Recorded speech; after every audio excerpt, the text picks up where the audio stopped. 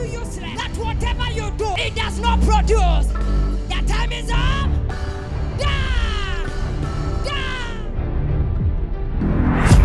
Hallelujah! I'm excited, excited once again to come your way. Deuteronomy 28 and verse 37. And thou shalt become an astonishment. Thou shalt become a proverb and a byword among the nations where the Lord shall take My name's our Pastor Mrs. Julie B. Akama, once again coming your way to invite you again for our annual women's conference coming up. It shall be on the 20th to the 24th of July this same month. On Wednesday through to Friday, we shall be meeting at the Lord City from 6 p.m. all the way to 8 p.m. And on Saturday, we shall have a business meeting for all the women at the Lord City Sound of Abundance Church. The theme of the meeting shall be raising proof producers. Your proofs is what makes your enemy see the hand of God in your life. I'll be ministering along with my husband, who shall be the guest, and his name is Reverend B. Akama. It shall be a time of the word. You came here with anguish. You came here with concerns. Came here with challenges.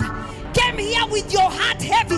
I decree and I declare the challenges that you came with, whether for 30 years, whether for 20 years, whether for 50 years, the Lord God shall hide them in the name of Jesus.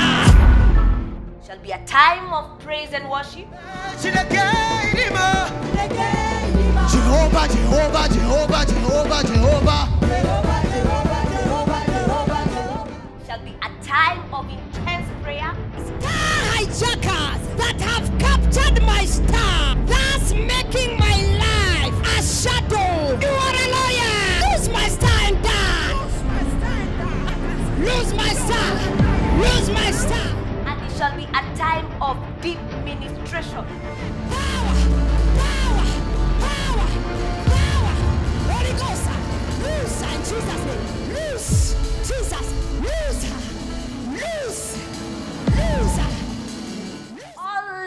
from all walks of life.